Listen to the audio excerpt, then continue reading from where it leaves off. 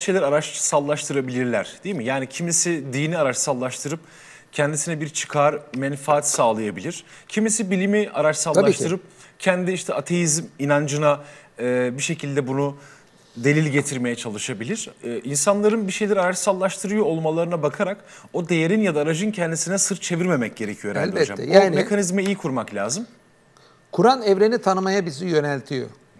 Yani sürekli yöneltiyor. Yani Kur'an'daki bu bir ayetteki, iki ayetteki, üç ayetteki mesaj değil. Böyle Kur'an'ın hepsine dağılmış bazı mesajlar vardı. Mesela öldükten sonra bizim diriltileceğimiz, ahirette hesap vereceğimiz, bu dünyadan sonra ahiretin hesap, hesap olduğu bütün Kur'an'a dağılmış bir mesajdır.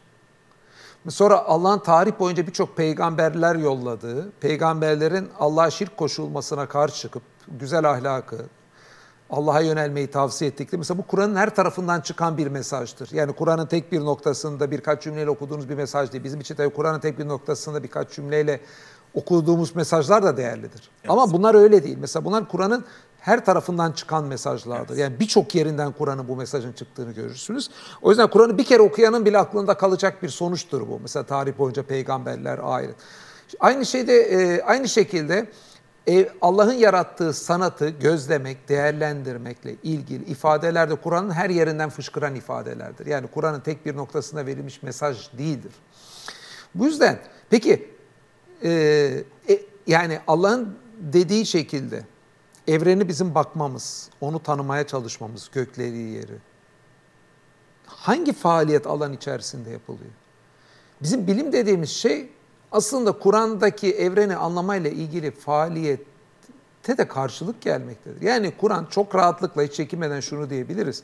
Aslında bizi evren hakkında bilgiye, edinmeye davet eder.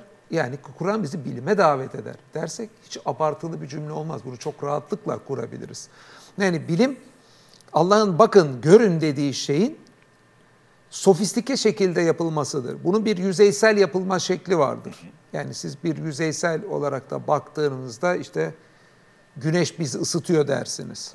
Yani çıplak gözle Evet. herkesin algılayıp anlayabileceği olan şeyleri aslında görebiliyoruz. Yap- Bu evet. bize bir gözlemdir. Yani Evet. güneşin bizi ısıttığı, güneşin bizim yaşamımız için önemli olduğunu böyle yüzeysel bir şekilde söylersiniz. Ama bunu daha da derinleştirdiğinizde gözlemle işte bitki güneş olmadan fotosentezin de olamayacağını e, söylersiniz. İşte güneş olmadan e, dünyanın yörüngesinde de sapmalar olacağını, bizim yani mevcut yörüngemizin de güneş sayesinde olduğu gibi.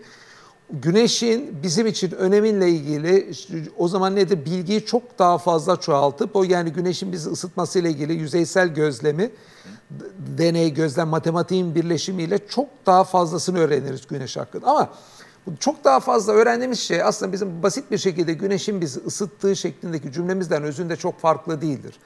O da aslında bir gözlem sonucunda bizim söylediğimiz bir cümledir. Bu da gözlem ama burada daha sofistike gözlem vardır. Artı matematiğin kullanılması vardır. Kimi yerde gözlemin yetmediği yerde deney yapılıp o deney sonuçlarının gözlemlenmesi vardır. Yani bilimsel bilgi dediğimiz şey yani evrene bakıp da görmektir özünde. Bunun daha derinleştirilmişi, inceltilmişidir. Bu yüzden Kur'an'daki yani bakıp da görme, inceleme ile ilgili e, emirlerin tam karşılığıdır. Yani Bu yüzden bir. Müslümanın hani Müslümanın Kur'an'ın böyle bir emri varken bilimsel faaliyeti ciddiye almaması, karşı çıkması düşünülemez. Yani bazıları böyle konuştuğumuzda hocam bir şey diyecektim unuttum da şunu görüyorum. Biz böyle konuştuğumuzda şimdi biz modern dönemdeyiz. 20. 21. yüzyıldayız. Ee, Birçok insan işte bilime çok önem veriyor. Bilimin başarıları ortaya çıkmış. Hani bilimin başarıları ortaya çıktı. Bunlar ya Kur'an da bunu söylüyor zaten diyor dediğimizi zannediyorlar. Ben de diyorum ki bunun böyle olup olmadığını gerçekten biz Kur'an'ı çekiştirip de hani Kur'an e, böyle bir şey la- lastik gibi bir şey de biz çekiştirip istediğimiz santime getiriyoruz. Böyle bir durum mu var? Gerçekten bizim söylediğimiz gibi evreni, varlığı tanımak, Kur'an her tarafından çıkan bir mesaj mı? Dediğimizin doğrunu anlamak için çok basit yapman gereken al bir Kur'an'ı oku. Evet. Bizim dediğimiz gibi mi? Gerçekten biz bir moderniteye mi Kur'an uydurmak istiyoruz? Gör kendiniz, görün yani.